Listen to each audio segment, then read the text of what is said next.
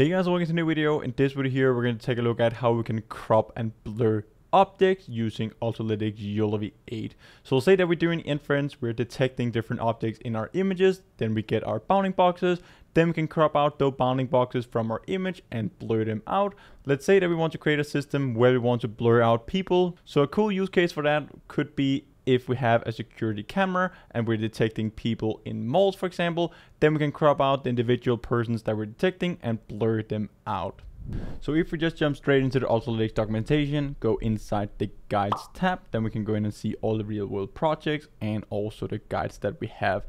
We pretty much have videos covering every single one of them in here, so definitely go in and check them out or they will be added over time. So right now inside the real world projects, we can see we have object counting, object cropping, and also object blurring.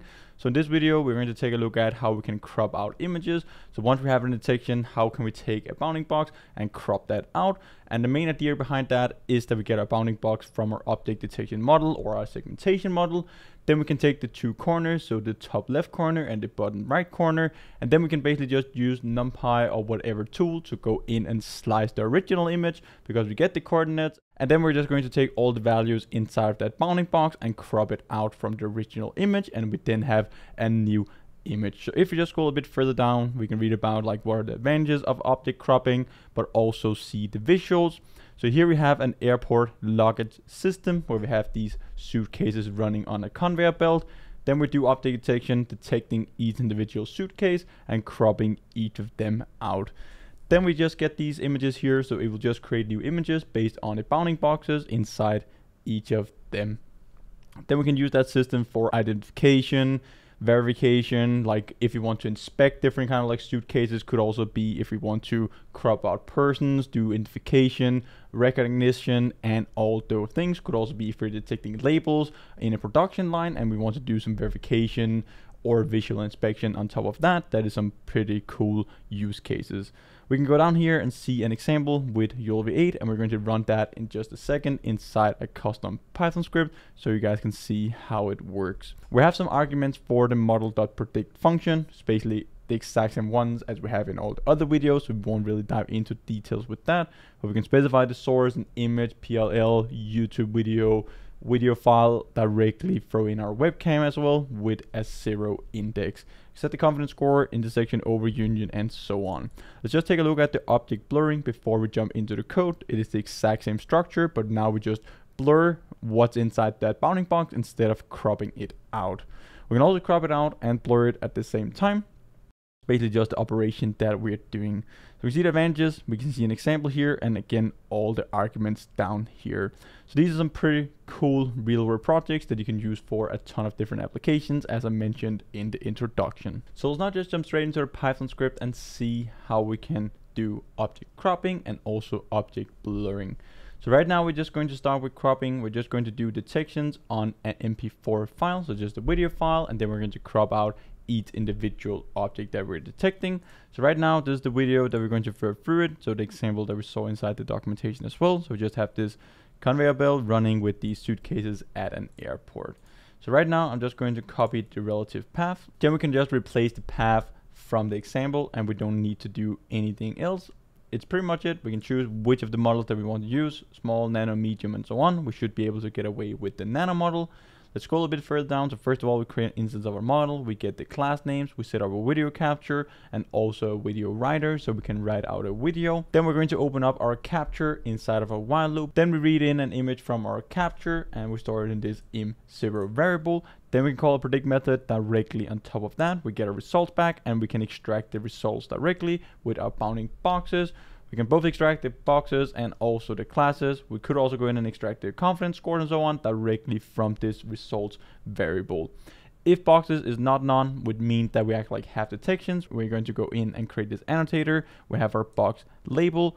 Inside our bounding box, we're just going to do croppings. And so as I mentioned in the start, we can just do cropping or slicing directly with NumPy. So we just have the indexes from the top left corner and the bottom right corner of our bounding boxes.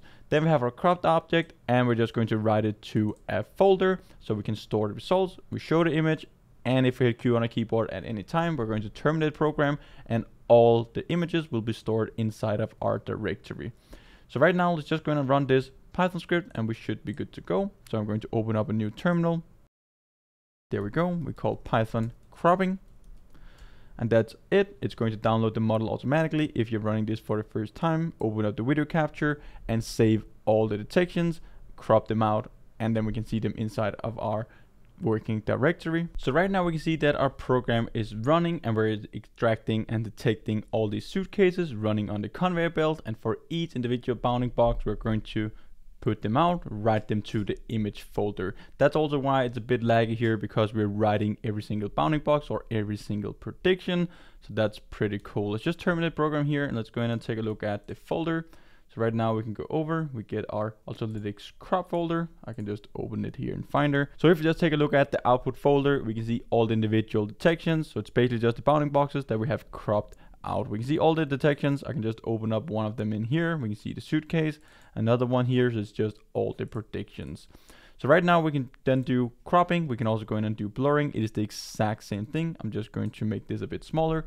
It's the exact same thing. We specify the same video file rest is pretty much the same. Right now we just go down and extract our individual detections and then we're going to blur out every single pixel within that prediction or bounding box. And that's pretty much it. Then we can go in and extract it again and we can set the blurred image equal to the original image. So we can do the cropping inside of this original image. We can specify the region that we want to basically just replace with our blurred out object.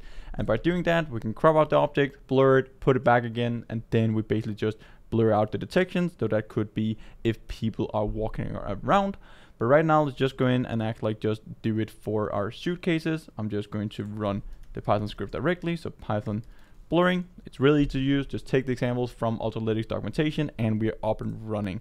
So right now we can see that we have the blurring. We can also specify how much blurring effect that we want. Of course, we need to have the detections. We're only running with a nano model now, so we could increase it to run better with a small, medium, large, large model and so on. So you need to choose that depending on your application and also problem that you want to solve. So right now we're just blowing out every single detection. This is really useful if you have like security cameras where you're detecting different persons and so on. So this is pretty cool. Definitely going to check it out. This can be used in a lot of real world use cases and applications as we have already talked about. So thanks a lot again for watching this video here and I hope to see you in one of the upcoming ones. Until then, happy learning.